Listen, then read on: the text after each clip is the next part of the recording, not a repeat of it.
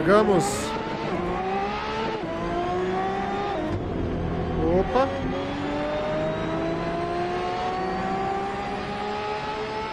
Sejam bem-vindos, senhores, a mais um vídeo no canal do Turco.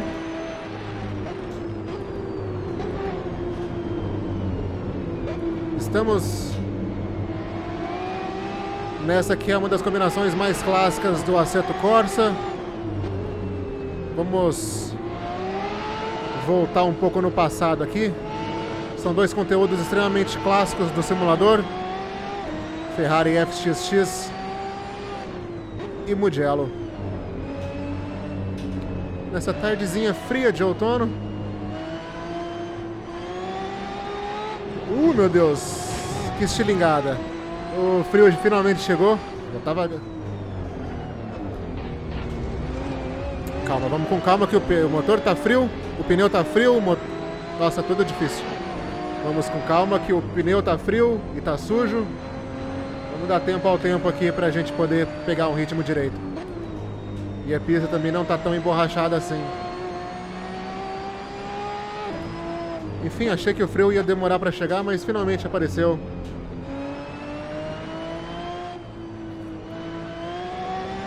A temperatura baixou violentamente. É...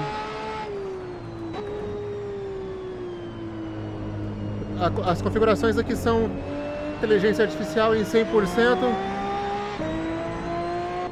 Eu coloquei 15% de ajuda de estabilidade, porque eu não estava muito afim de ajustar o carro. E os 15% aqui me ajudaram bastante a mantê-lo na pista de maneira competitiva. Eu tô sem ABS, então se eu der umas travadas de pneu ali, relevem, porque foi difícil achar o ponto de frenagem aqui, o ponto de pressão no freio, sem errar demais. Ó. Tá bom, foi bom, foi boa freada, boa freada. Voltamos a primeira volta.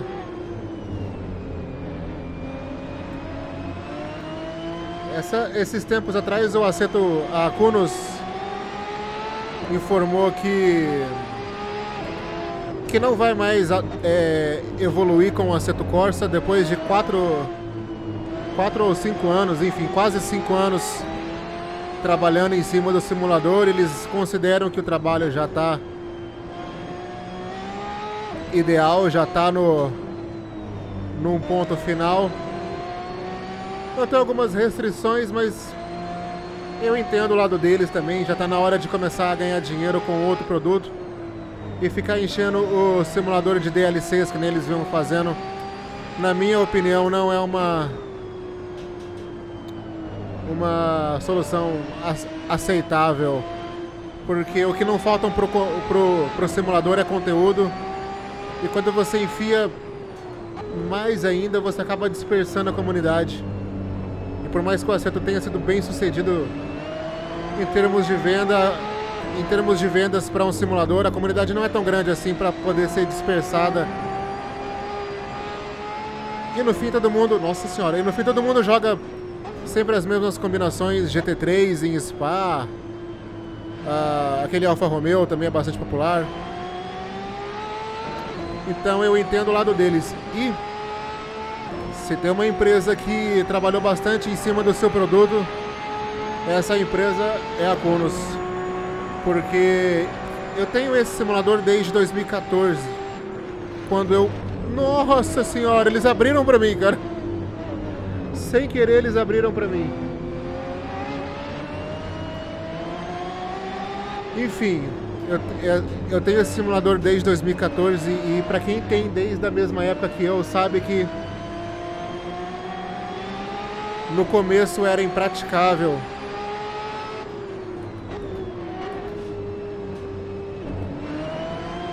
No começo era impraticável andar com outros carros na pista.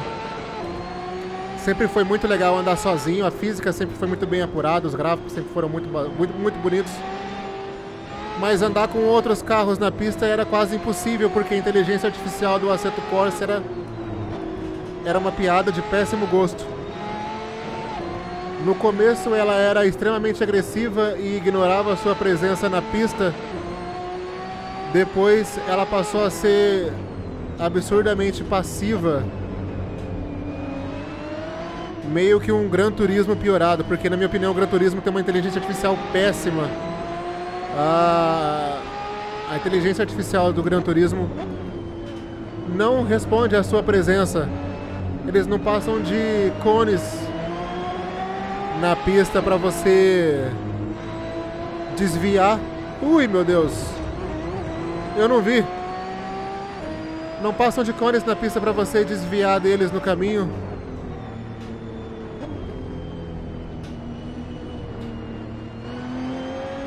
Mas ao longo do tempo a Kunos foi achando uma, um equilíbrio. Eles foram conseguindo trazer de volta a agressividade para para as corridas sem deixar elas extremamente imbecis. Que nem era lá para os idos de 2014. Nossa, que ia travar bonito agora aqui.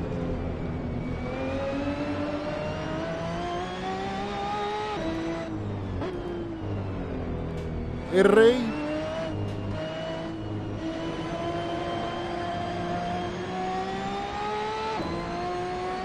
E aí estamos em 2018 com um simulador, sei lá, 99% é, ideal. Eu ainda acho que falta um pouco mais de estímulos para jogar corridas offline, porque eu tô numa época de muito pouco tempo para correr online, cara, com dois empregos, problemas no emprego, é, correria do dia a dia, tem que resolver pepino o tempo todo. Eu não tenho tempo para sentar e e treinar para uma corrida online como deve ser, não só para você ir bem, pra, mas também para não prejudicar os outros competidores. Então eu gosto de correr offline porque me deixa é, entrar nesse mundinho aqui do simulador sem eu precisar me dedicar horas e horas anteriormente a, treinamentos, a ajustes de veículo, etc. Estratégias de corrida. Porque as competições são legais quando você tem tempo para fazer isso. Senão você começa a andar muito lá atrás. Eu não me importo em ganhar, mas eu me importo em correr bem e ser competitivo dentro dos meus limites fazer uma corrida legal e principalmente não prejudicar ninguém. E com pouco tempo de treinamento isso é quase impossível. Olha só. Bela freada. Essa é a última volta já, de novo. São as clássicas cinco voltinhas aqui. Eu recomendo demais essa combinação. Assetto Corsa, Ferrari FXX em Mugello. São dois conteúdos que estão no simulador desde o começo e vêm sendo lapidados e vieram sendo lapidados ao longo desses. Sei lá, eu acho que a Kuno está desenvolvendo o Assetto Corsa há quase 10 anos. São 5 de. de simulador lançado para o público, mesmo que em beta no começo. Olha isso, cara. Isso aqui isso aqui era impossível, cara. Mesmo essa coisa extremamente realista que é quando você joga um carro meio para fora porque ele perdeu a tangência. Isso era extremamente impossível de acontecer no começo do, do simulador.